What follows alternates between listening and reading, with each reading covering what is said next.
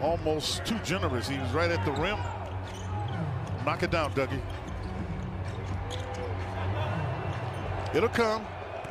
So you need somebody out there that can guard with that's thicker. Isn't it funny? Justin Holiday was playing the four guarding Randle. Now he's playing a shooting guard as McDermott misses his second from three-point range. They play slow in terms of pace on the offensive end. McDermott drives inside with a left hand, and it's rebounded by Rivers. Very good. McDermott in the corner. And one! Yeah! A chance for a four-point play. Three assists in his six minutes. He comes in averaging five per game off the bench, and McDermott has his first four points. Skip pass. Holiday runs out of room, but found McDermott. Great patience by McDermott. Give it to him. Give it to him. He's open.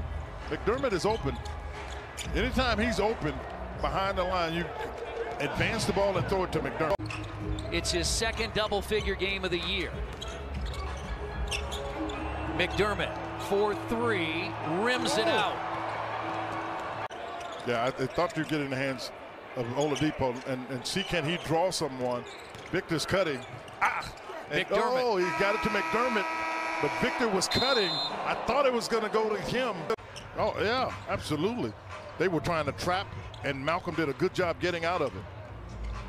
McDermott had it blocked. Great catch and rebound there.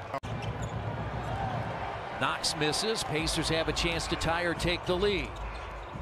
And they'll try to take the lead with McDermott for three. He's had a 27-point game already this year. That was in the win against the Bucks. He has been their engine. Give me the oh. He really had. Oladipo still does not have a field goal. He's 0 for 9.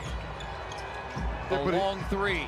Yeah, he is, Chris, but it looks like he. I mean, I think what Victor is doing is, is making the sacrifice you've got to make.